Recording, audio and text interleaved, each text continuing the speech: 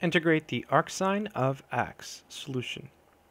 We're going to use integration by parts. So when we pick u, we have to pick something that's easy to differentiate.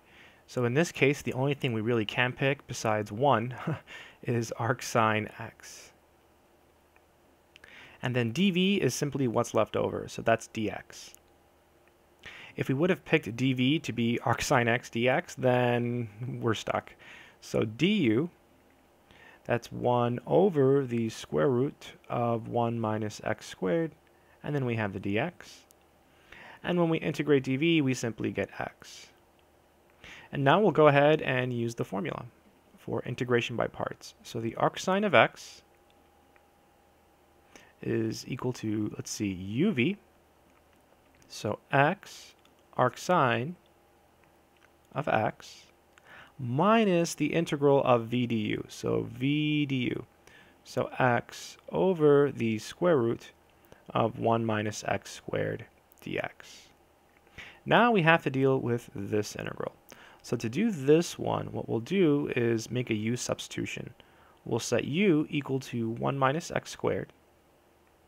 So then du becomes negative 2x dx. And we don't have a negative sign or a 2 in the integral, so we'll divide by negative 2. So negative 1 half du is equal to x dx. And going back to our problem, we have x arcsine x. And then we already have a minus here, so we have a minus here, so it's plus 1 half the integral of, let's see, x dx, that's negative 1 half du. We took care of that, and the negative 1 half became a positive 1 half because we have a negative here. And then we're just left with 1 over the square root of u du. Let's keep going. So this is equal to x arcsine x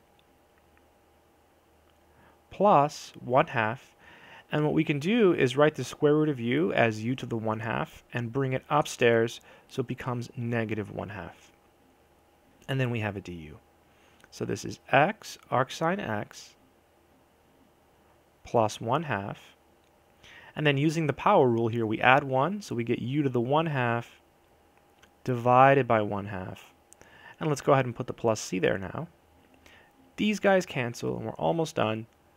So this is equal to x arcsine x and then plus, and then u to the 1 half is really the square root of u. So this is the square root of, and u was 1 minus x squared. And then we have the plus c. And that's the final answer. It was kind of rushed, but uh, I wanted to keep the video short. I hope it made sense.